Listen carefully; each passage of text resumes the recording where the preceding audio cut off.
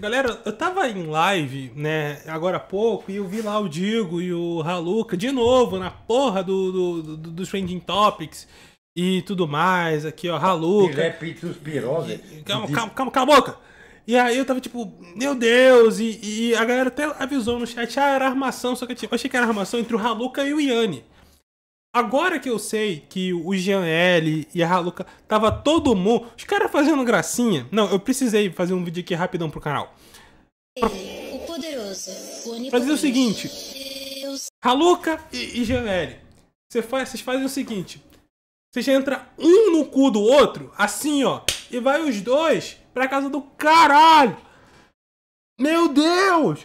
É impressionante o que vagabundo faz para não usar uma carteira de trabalho. É impressionante onde vagabundo chega para não ter que arranjar um emprego, para não virar um açougueiro, para não virar um, um carpinteiro. Eu tô indignado de saber que tudo era armação, menos o Digo. Tudo era armação.